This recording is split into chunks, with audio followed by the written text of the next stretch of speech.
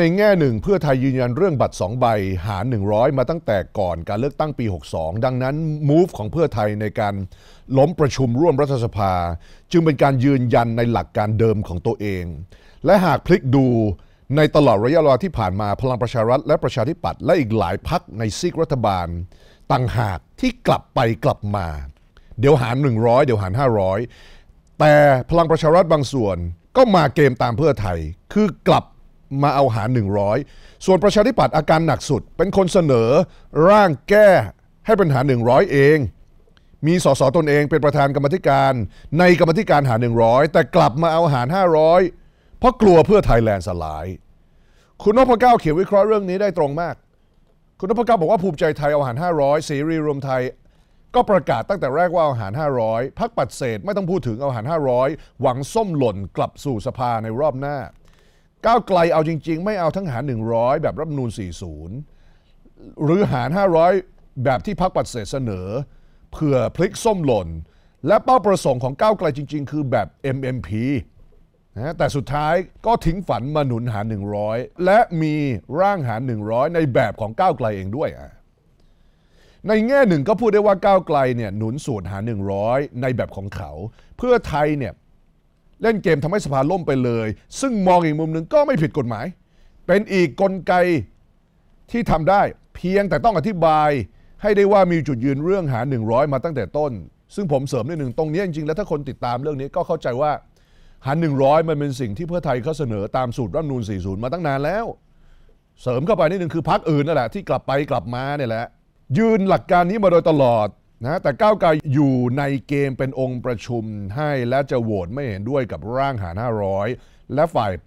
พรรคปัดเศษร่วมรัฐบาลคราวนี้ เรื่องมันแค่นี้ เรื่องมันแค่นี้นะฮะสุดท้ายเมื่อวานนี้ที่เขียนว่าสภาล่มพักปัดเศษตายสนิทพักร่วมรัฐบาลร่อแร่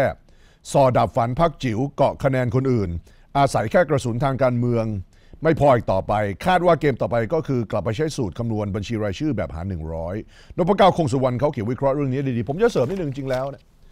ใช้สูตรหาร 100เนี่ยมันกำจัดปัญหา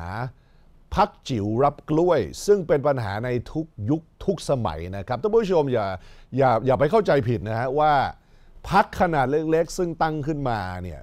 เขาไม่ได้ทำตามเจตนารมณ์ของประชาชนนะฮะเฉพาะในยุคนี้ ปัญหาพักจิ๋วเนี่ย เราถึงเวลารับกล้วยแล้วก็รวมพลังกันเพื่อมีอำนาจในการต่อรอง เพื่อเก้าอี้รัฐมนตรีหรืออะไรประมาณนี้ หรือแลกบางสิ่งบางอย่างเนี่ยมันเป็นปัญหามาหลายยุคหลายสมัยนะฮะ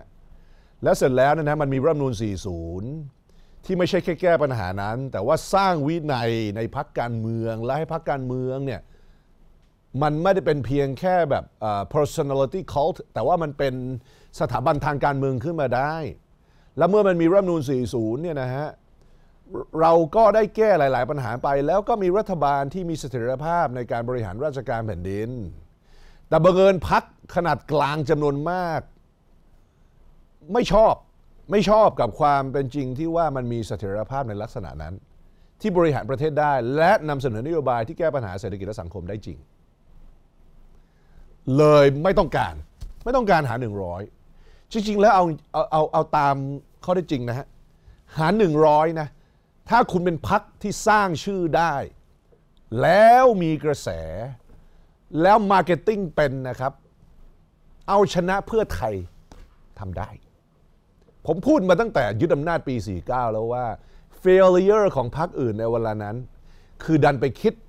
ว่าออกแบบอะไรใหม่ ๆ ให้เอาชนะ ดรทักษิณชินวัตรและไทยรักไทยไม่ได้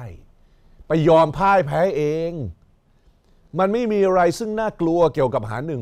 100 รอบนี้ดีกว่า 40 เสียอีก เพราะว่าไม่มี 5% cut off ไม่ต้องถึง 5%ก็ได้สสบัญชีรายชื่อได้